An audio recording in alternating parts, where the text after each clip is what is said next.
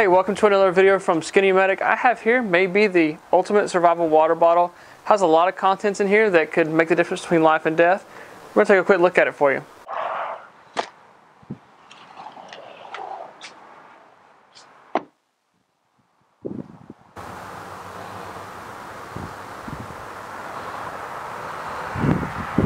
I definitely think with the size here, this is a good item that you could put in your bug out bag, your get home bag, or just toss it in your vehicle. That way you've got a few items there that ultimately could save your life. So we take a look at the outside of the bottle here. You have a large bundle of 550 paracord here. You have a, a carabiner, and then of course your actual plastic water bottle here. So this kit weighs just over a pound. I measure in as one pound, almost one ounce. So uh, fairly lightweight, something that's you know, not gonna take a lot of space in your bug out bag or get home bag. So I went and dumped everything out to kind of show you guys what's in the kit, make it a little easier. Uh, scroll through everything, but you can see just how much is jam-packed in this water bottle. I wanted to say before I get started that if you have not checked out the Sensible Prepper channel, Such over there, uh, he has a fantastic channel that's basically this right here. So when I talk about there's a condom in here, I know we're normally one what we come to that's used for, but he has like a video. I think it's like top 20 uses for a condom. He has top 20 uses for uh, paracord, um, zip tie. So go check out his channel. Um, and if you see a video, tell him Skinny Medic sent you. So that'll that'll be good for you. So I appreciate that. So let's scroll through all this that's listed in here, and we'll kind of go down. So 9 volt battery. Uh, obviously, we could use that in conjunction with the steel wool that's here for fire starting. So we want to make sure that we can have water, we can start fire for hypothermia to cook with, things like that. So we have all of our uh, needs taken care of. You have some aluminum foil here. Uh, back up one second, apologize. Some alcohol uh, prep pads here. Two band-aids here. You have a little button compass here. Then we have uh, a saw, which can be, obviously we're going to use that for wood, things like that, to get some fire started for us. We have a condom there's more uses to a condom than that's what you're thinking. I know. But you could carry water. Uh, there's tons of uses for that. You have some duct tape here that's wrapped up. We have a uh, fire starter, ferro rod, and striker. So, very good. Get it put back together. Maybe. Ish. There we go. You've got a fishing kit here. So it comes with some line, comes with your hooks and things like that. You have a uh, magnifier. You have some string here, a little knife.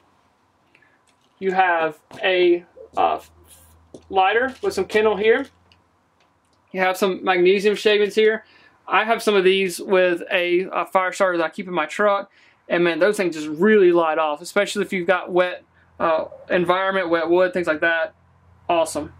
So then we have a mirror here. Obviously we can use this for signaling. Um, just in case we need to um, signal down someone. So uh, we have a can opener here.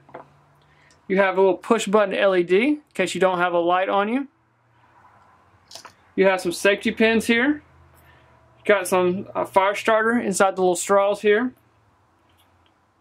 We already mentioned the steel wool. Then you have some uh, matches here. These are the stormproof matches. Then we have a survival card tool, so multiple tools just on this one particular card here. You have a tampon. Now, go check out my other video on tampons, okay? You're gonna, these are not for gunshot wounds, okay? I'll just leave it at that. So, uh, these will help with minor to moderate bleeding. Uh, you can use as a fire starter. Uh, obviously, if you for a feminine product, use it what it's designed for. But do not use this for a gunshot wound, please, guys. Go check out that video I did on this.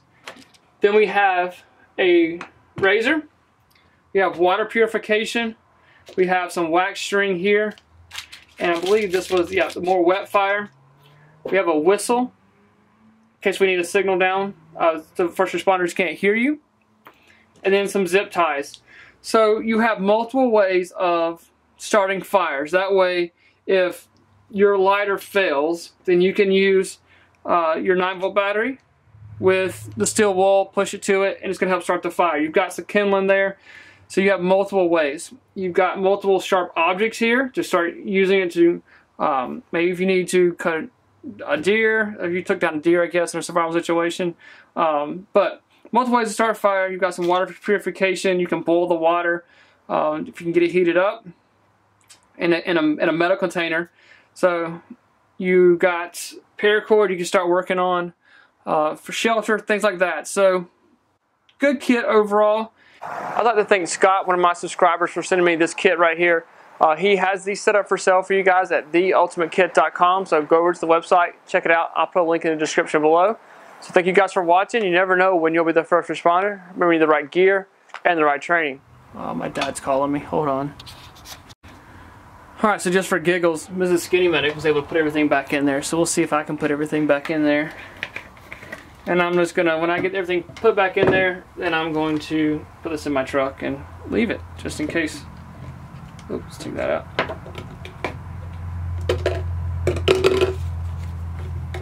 Surely I can get all this back in there. if Mrs. Skinny Medic. Oops, I said there was two band-aids. There's actually three band-aids in there.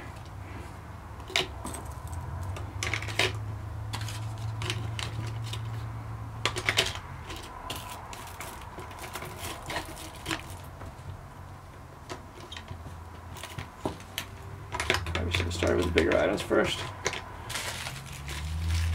I'm not gonna. Oh, I'm gonna mess up. Got that one in there. It's not looking good, folks. She got it all back in there. I think I should have started with the bigger items first.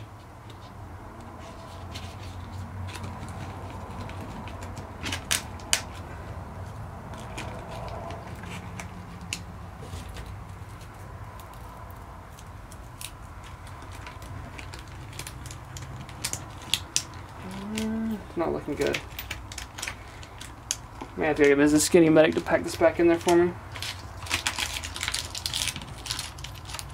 Oops.